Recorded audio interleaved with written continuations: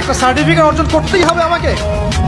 নিজের ইজ্জত বিক্রি করে দিয়ে হলেও আমার সার্টিফিকেট অর্জন করতেই হবে।